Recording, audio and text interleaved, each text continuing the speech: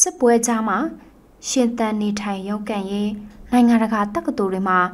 ပညာဆက်သင်ယူနိုင်ဖို့ဆိုတာလွယ်ကူတဲ့အရာတော့မဟုတ်ပါဘူး။ဒါပေမဲ့ကရားလီဖုလူငယ်မော်စုကတော့မလွယ်ကူမှုတွေကြားက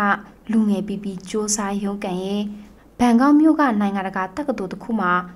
တက်ရောက်ပညာသင်ယူနေနိုင်ခဲ့ပါပြီ။သူမဟာအသက်24နှစ်အရွယ်ဒီမော့ဆုံမြို့နယ်တဲကကျေးရွာကလေးတရွာဖြစ်တဲ့ သေးစုလဲဇာတိကဖြစ်ပါတယ်။စစ်မီးတွေလောင်မြိုင်ခဲ့တဲ့ဒီမော့ဆုံမြို့နယ်အတွင်းမှာ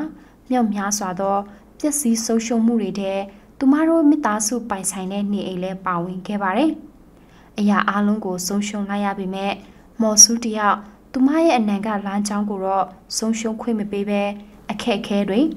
စိန်ခေါ်မှုမျိုးစုံကြားကသူမရဲ့ပန်းနိုင်ကိုဆက်လက်ရှောက်လန်းနေပါတယ်။အခုတော့မော်ဆူတယောက်မြန်မာနိုင်ငံက အစင်းမြင့်ပညာဆက်လက်သင်ယူနိုင်ဖို့ထောက်ပံ့ပေးတဲ့ဖွဲ့ Diversity Inclusion Scholarship Program DISP ရဲ့အထောက်ပံ့နဲ့ဘန်ကောက်မြို့ကနိုင်ငံတကာတက္ကသိုလ်တစ်ခုမှာ Public Policy and Strategic Management ဘာသာရပ်နဲ့ Master Degree A Public Administration ကိုတက်ရောက်နေပါတယ်။မော်စုကတော့အဲ့ဒီတက္ကသိုလ်မှာပညာသင်ခွင့်ရဖို့နှစ်နှစ်အချိန်ယူပြင်ဆင်ခဲ့ရတယ်လို့ဆိုပါတယ်။ နိုင်ငံတကာရဲ့မြို့ပြကြီးတဲ့အမျိုးသမီးတရားပညာသင်ဖို့ဆိုတာနောက်ခံကောင်းတဲ့မိသားစုအတိုင်းဝိုင်းကမရှိမဖြစ်လိုအပ်ပါတယ်။ဒါပေမဲ့မော်စုကတော့သူမကိုအထောက်ပတ်ပေးနိုင်ဖို့ခက်ခဲတဲ့မိသားစုကနေကြီးပြင်းလာတာကြောင့်သူမလူချင်တဲ့ပန်းနိုင်ရောက်ဖို့သူမကိုယ်တိုင်ကိုအားကိုကိုပြီးဒီဇိုင်းမမတ်ရှောက်လန်းနေသူပါအာနာမသိန်းခေအထိမော်စုရဲ့အိမ်မက်ကတော့အောင်မြင်တဲ့လုပ်ငန်းရှင်တယောက်ဖြစ်ဖို့ပါပဲ ဒါပေမဲ့စစ်အာဏာသိမ်းမှုကမြောက်များစွာသောလူငယ်တွေရဲ့အိမ်မက်တွေကို ပြောင်းလဲသွားစေတဲ့အထက်မော်စုဖြစ်ချင်ခဲ့တဲ့အိမ်မက်လည်းပါဝင်ခဲ့ပါတယ်အဲကျမရဲ့တကူတဲ့ဆန္ဒကျွန်မတကူတဲ့ဖြစ်ချင်တဲ့အိမ်မက်ထက်အခုချိန်မှာတော့အပြောင်းလဲပြောင်းလဲသွားတာရှိတယ်ပေါ့နော်ကျွန်မအာဒီကျွန်တော် data မှာ green data မှာအာ တိုတက်အောင်လုပ်ဖို့အတွက်ပြီးတော့မှဒီအဓိကပြည်သူလူထုအတွက်အလုပ်လုပ်ပေးဖို့ service ပေးဖို့အတွက်ကျွန်မပြန်ပြီးတော့မှဟိုအိမ်မက်ထားရှိပါတယ်လို့ဟုတ်ပြောင်းလဲသွားတဲ့သူမရဲ့အနာကအိမ်မက်ကိုပြောပြတာပါဒါကြောင့်မော်စုတရဂရီနီဘီတိုးတက်ရင်မှာသူမပါဝင်နိုင်ဖို့စိန်ခေါ်ချက်တွေကိုမမှုတော့ပဲလိုအပ်တဲ့ပညာတွေကိုရတဲ့နည်းနဲ့သင်ယူနေတာဖြစ်ပါတယ်။သူမလက်ရှိသင်ယူခွင့်ရထားတဲ့ Master ဘွဲရဖို့အတွက်အထောက်အကူဖြစ်စေတဲ့ Bachelor ဘွဲကို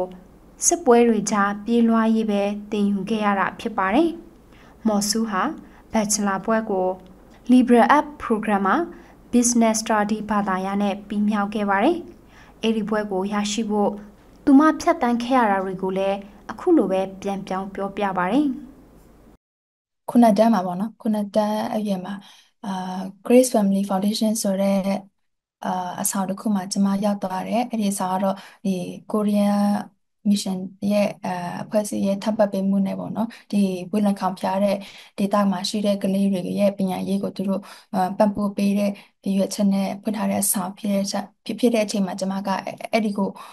ရောက်သွားတယ်ပြမအထက်တန်းပညာရေးကိုအမှပြီးဆုံးအောင်တည်ယူတက်မြောက်ခဲ့တယ်ပေါ့နော်အာအဲ့ဒီမှာကလည်းဘယ်လိုပြောမလဲ ရောက်ကုန်မှာဖြစ်တဲ့ခါကျတော့မိဘရဲ့အလက်ဝေးတဲ့နေရာမှာအာဘယ်လိုပြောမလဲကြည်ပြင်းလာခဲ့ရတယ်ပြမအာဘယ်လိုပြောမလဲဒီအဲ့နေရာကတော့တကယ်ဟိုပါပေါ့နော်ဟိုပါပမာလူမျိုးတွေလည်းများတဲ့ခါကျတော့ကျွန်တော်တို့လူမျိုးတိုင်းရင်းသားလူနည်းစုတက်ကအရန်မျက်နှာငယ်ရတယ်ပြမအရန်စူးစမ်းယူရတယ်ပေါ့နော်အာပြမနေခိုင်းရတယ်လည်းအများကြီးရှိတာပေါ့ဒါပေမဲ့လည်းအဲအဲ့ဒီဟာတွေကို ဟိုမြက်ကွယ်ပြထားပြီးတော့မှစူးစမ်းအဲတည်ရတက်မြောက်ပြီးတော့မှထက်တန်းအမှပြမြောက်ခဲ့တယ်အာပြီးတော့မှအာ